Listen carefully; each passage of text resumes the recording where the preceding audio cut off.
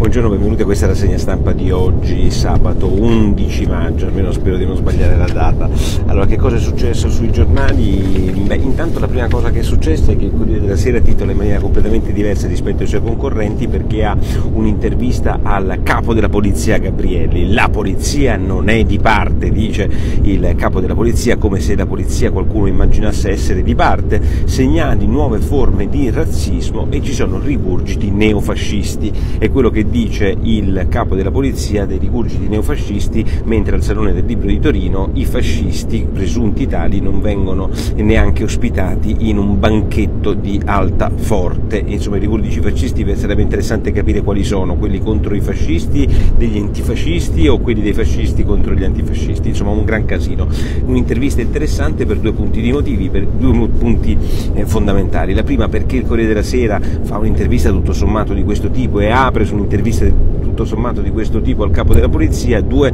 ipotesi. La prima è che sia un accreditamento dell'editore che in questo momento Urbano Cairo vuole e ci sta a rendere istituzionale il suo giornale sempre più accreditato con quelli che contano, il capo della polizia, i magistrati, il, capo, il Presidente della Repubblica che presenta il Giro d'Italia con lui. La seconda ipotesi è invece più che un accreditamento un segnale, cioè il segnale che il capo della polizia voleva dare, attenzione Salvini alle divise della polizia, il, è il ministro degli interni poliziotto, però insomma la polizia fa il suo mestiere. Boh, non so quale delle due valga, detto questo l'intervista non è di grandissimo interesse se non questi due accenni che vi ho dato. Sondaggi, ieri gli ultimi giorni dei sondaggi, oggi tutti quanti l'hanno ripresi perché cosa è successo? La Lega è calata di 6 punti, in 20 giorni è arrivata al 30% e il Movimento 5 Stelle è al 22%, il che vuol dire una distanza, come nota Bruno Vespa oggi sul quotidiano nazionale, di 8 punti percentuali, bene o male che sia,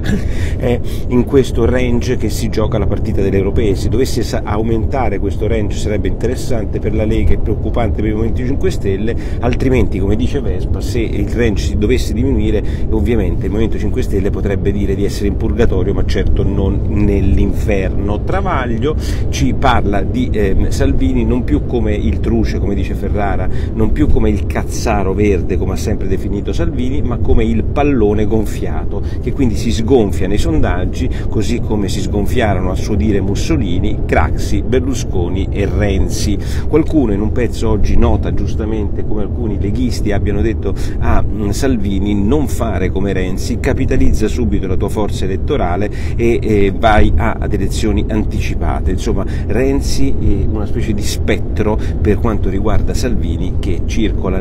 anche nel suo entourage leghista. Ad Alberto Signore invece oggi sul giornale ci dice che molti ministri, Erika Stefani, eh, Centinaio, Giorgetti stessi, stesso stanno consigliando a Salvini di mollare questo governo per motivi più o meno simili. Panarari sulla stampa ci dice che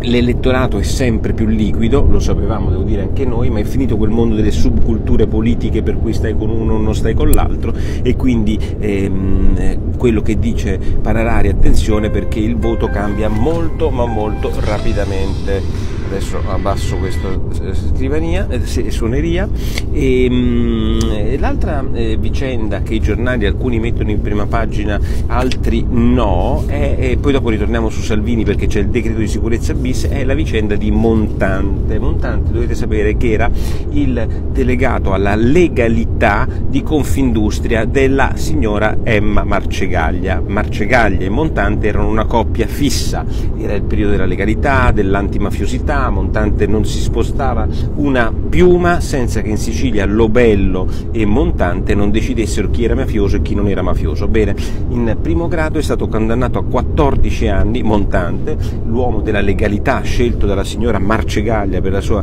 confindustria legalitaria, è stato condannato a 14, a 14 anni per associazione a delinquere proprio per uno strano dossieraggio che aveva nei confronti di coloro che non si sottoponevano diciamo, alla sua censura antimafiosa, quindi veramente veramente il professionista dell'antimafia che come altri, mi sembra presidente del, eh, di, degli aeroporti di Catania, come altri fenomeni dell'antimafia poi diventano i primi ad essere condannati per mafiosità, non mafiosità, per mh, delinquenze varie, ecco, mettiamola bene. Decreto sicurezza bis, tutti si rivoltano, quelli di sinistra e i grillini su questo nuovo decreto di sicurezza bis che prevede pene fino a 5.500 euro per ogni migrante che è sbarcato in Italia da parte di coloro che lo sbarcano in Italia, chi eh, Salva paga, titola Repubblica, proprio basandosi su questa novità del decreto sicurezza e ehm, sui porti decide il Viminale e non più il ministro dei trasporti che risponde alla persona di Toninelli, cioè del Movimento 5 Stelle. Ehm,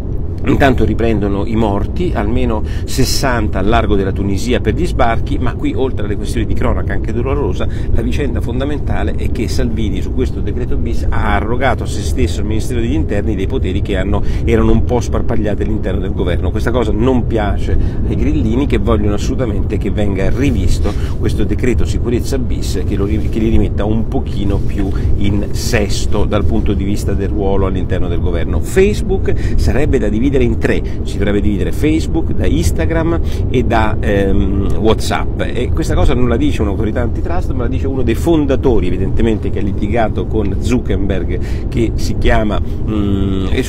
in un pezzo sul New York Times che riprende oggi con grande evidenza ovviamente il Sole 24 Ore, bene far il giornale di Fabio Tamburini a ricordare come Facebook che entra nelle nostre vite così prepotentemente secondo il suo fondatore è diventato una specie di monolite che, è, che, che potrebbe mettere a rischio la nostra nostra, ehm, diciamo, il nostro futuro la nostra sicurezza dei nostri dati. Ultima questione, il boom delle partite IVA nel primo trimestre del 2019 è un dato importantissimo, il sole 24 ore ma non solo lo certifica, i numeri sono chiari, nel primo trimestre del 2019 ci sono state 196.000 nuove partite IVA, più 8% rispetto allo stesso trimestre dell'anno scorso, ma la cosa che più conta di queste 196.000 partite IVA, 104.000 sono con il regime forfettario che dal passato, che da questo governo è stato portato a 65.000 euro. Insomma, la flat tax ha fatto sì che molti aprissero questa partita IVA o è molto più presumibile, molti che prima avevano dei rapporti strani, di collaborazione, eh, di dipendenza strana, evidentemente preferiscono, proprio perché è più conveniente fiscalmente, avere